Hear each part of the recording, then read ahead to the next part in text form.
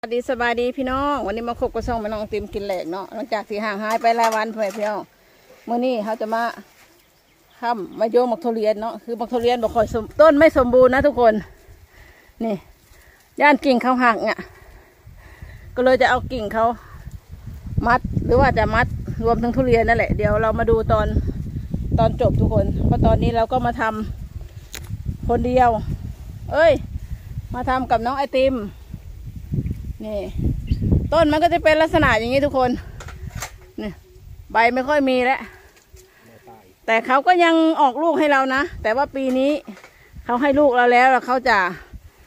โดนตัดทิ้งหรือยังไงก็รอดูนะทุกคน เพราะปีที่แล้วนี่เขาดกมาก ต้นนี้ได้เยอะเหมือนกันปีที่แล้วอะ ได้ไปสองสามร้อยโลอะ แต่ปีนี้เขาก็ยังให้ลูกแล้วนะ เนี่ย ต้นต้นแบบนี้นะทุกคน เขาก็จะแก่เร็วเนาะเพราะว่าเขาไม่ค่อยมีใบเนาะเขาจะเข้าสีเร็วหรือเขาจะสุกเร็วอย่างนั้นเนาะพี่น้อง เนี่ย เพราะว่าใบเขาไม่มีแล้วเขาก็จะทำการแบบดูดกินไม่ไหวจะทำให้ทุเรียนเราสุกแก่เร็ว นี่ถามว่าอร่อยไหมอร่อยเหมือนกันทุกคนแซ่บเหมือนกัน เนี่ย อันนี้ก็ไปขายที่นั่นก็เป็นตกไซส์หมดเลยพี่น้องเลยค่าเป็นค่ามันสุกช่วงนี้ก็ประมาณแพงเหมือนกันนั่นแหละทุกคนกิโลละเกือบตอนนี้สองร้อยยี่สิบหัวนะเขาเรียกหัว แต่อันนี้เขาอาจจะเป็นเป็นหางหรือเป็นตกไซส์อะทุกคนเนาะเขาเราก็ภาษาทุเรียนน่ะเราก็ไม่ค่อยจะรู้อะอันนี้เขาจะสุกประมาณเดือนไหนอะพ่อน้องไอติมเดือนพฤษภาอ๋อประมาณเดือนพฤษภา ก็มันจะเป็นรุ่นหลังของเขาอะเนาะทุกวันนี้เขาตัดกันนี่ก็เขาจะเป็นรุ่นแรกแล้วก็รุ่นสารของเขานะพี่น้อง แต่เรานี่ไม่มีเลยสวนเรา มีทุเรียนน้อย อันนี้ก็จะเป็นต้นที่คือว่าต้นที่เขาใบเขาทุกคน ใบเขาดีหน่อยนะ เนี่ย แต่ลูกเขาก็ยังไม่โตเพราะตอนนี้เขาก็กำลังจะสร้างภูเนาะก็แต่ว่ามาแล้วทุกคนเนี่ย ลาดำมาใช่แล้วทุกคนเนี่ยเนี่ยเนี่ยเขาเรียกว่าลาดำมาแล้วเขาเป็นลาดำนี่ก็โดนตำหนิแล้วทุกคนถึงลาดำถึงหนามจีบนนี้ก็ปีตีเป็นตกไซส์จะมีหัวหรือเปล่ามันไม่ทราบ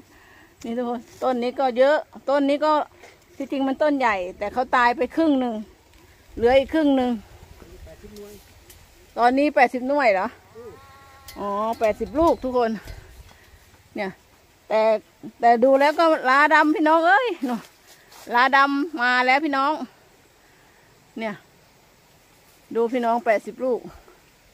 แล้วก็มองขึ้นไปข้างบนปลายปุ๊บ ก็เป็นสีแดงๆพี่น้อง แดงๆก็คือหนามแดงเขาเรียกหนามแดง เนี่ยเราต้องเอาไม้มาค้ำมาโยงนะ เพราะว่าปีนี้เขาบอกว่ามันจะมีลมลมแรงเนาะว่าราคาทุเรียนปีนี้ก็ ก็ดีเนาะ ก็พี่น้องชาวสวนทุเรียนก็รวยกันอีกแล้วค่ะรวยกันอีกแล้วค่ะ แต่เรายังเป็นลูกน้องอยู่ไม่รวยหรอกเนี่ยรวยกันอีกแล้ว พี่น้องชาวสวนทุเรียน ดึงทุกคน ดึงกิ่งน้อย ไปใส่กิ่งใหญ่ทุเรียนมันจะตาย